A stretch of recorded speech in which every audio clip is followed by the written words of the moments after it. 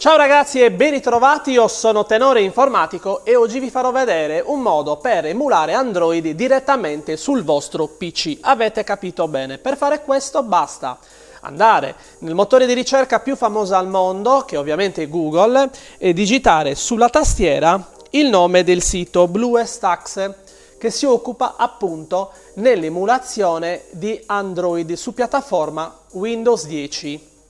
Scarichiamo l'ultima versione del software, avviamo poi il file Exer, confermiamo e installa ora.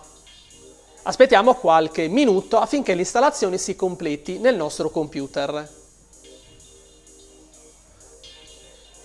Una volta completata l'installazione clicchiamo su completo e così si avvia finalmente l'emulatore eh, BlueStacks di Android. Anche qui dobbiamo aspettare l'avvio del motore che riguarda eh, BlueStacks e il tempo varia a seconda della potenza del vostro PC.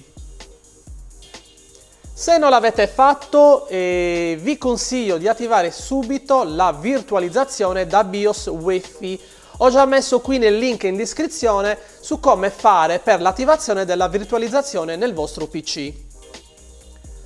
Una volta fatto, configuriamo eh, il BlueXTax su PC cliccando su Inizia.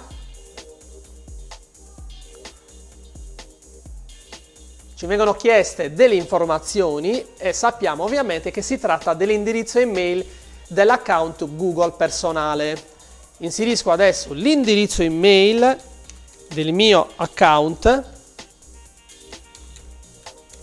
Ovviamente questa è l'email che potete utilizzare per contattarmi, ma anche su Facebook trovate Tenori Informatico. Andiamo avanti, dobbiamo inserire la nostra password, clicchiamo avanti, confermo l'identità dal mio dispositivo Android e accettiamo eh, le condizioni. Siamo quasi pronti per utilizzare le potenzialità di questo fantastico emulatore Android. Clicchiamo su Comincia a usare BlueStacks e finalmente eccolo qua. Una volta che avete attivato la virtualizzazione potrete usare al meglio questo software di emulazione abbiamo il Google Play Store in modo da eh, poter eh, videogiocare perché dovete sapere che il BlueXTax è anche stato pensato per videogiocare eh, direttamente in ambiente Windows con eh, le applicazioni Android. Sono all'interno del Play Store, vedete? Abbiamo eh, come se diciamo che il telefono fosse direttamente su Windows 10. Una cosa veramente interessante. Ci sono i giochi, possiamo scaricare un qualsiasi gioco, ne installiamo uno qualsiasi, possiamo anche mettere eh, in piccolo oppure a tutto schermo l'emulatore BlueStacks.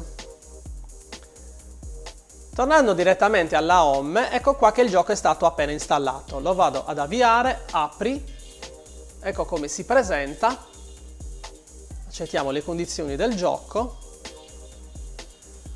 Un'altra cosa che dovete sapere è che ehm, l'emulatore BlueStacks su Windows 10 è 6 volte più veloce di un qualsiasi telefono e smartphone, addirittura più veloce dell'S9 Samsung.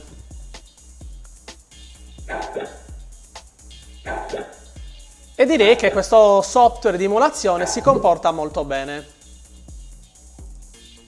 Abbiamo visto adesso i videogiochi, come si comportano, quindi le applicazioni, eh, come funzionano alla perfezione in ambiente Windows per quanto riguarda l'emulazione di Android su Windows 10 e per farvi vedere un po' eh, tutte le funzioni che sono poche abbiamo eh, un menu in alto con dei punteggi che si possono raccogliere e accumulare giocando.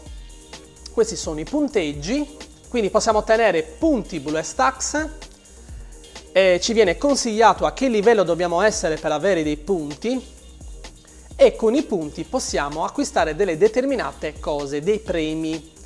abbiamo le notifiche degli avvisi, il nostro account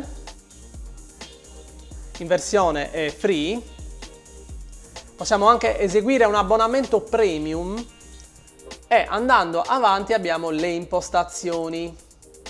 Possiamo decidere la risoluzione oppure impostare una risoluzione a nostra scelta, altre funzioni e così via. Che dire, l'emulatore funziona benissimo, eh, secondo me è un'ottima alternativa se vogliamo giocare al meglio ai nostri giochi preferiti Android direttamente su PC. Quindi se il video vi è piaciuto voglio tanti like positivi al video e iscrivetevi poi al mio canale di tenore informatico. Attivate anche le notifiche per non perdere i miei contenuti video.